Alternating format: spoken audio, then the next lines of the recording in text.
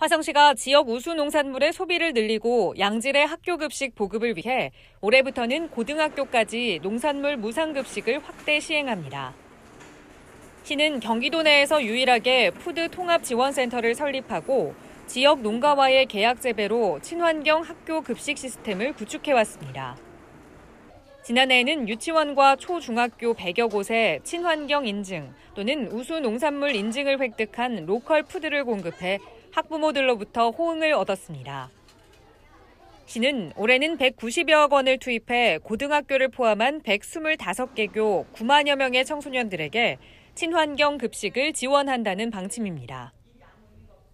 시 관계자는 학부모들의 급식비 부담은 줄이고 학교와 지역 농업이 상생할 수 있는 따뜻한 정책이 될 것이라고 말했습니다.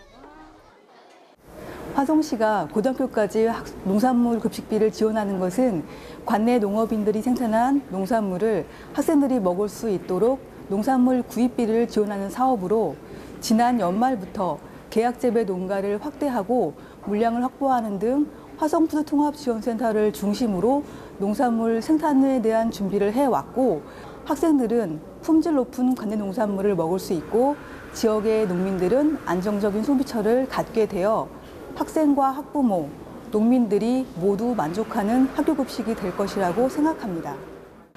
한편 시는 고등학교 행정실 및 영양교사를 대상으로 농산물 무상급식 관련 설명회를 개최했습니다.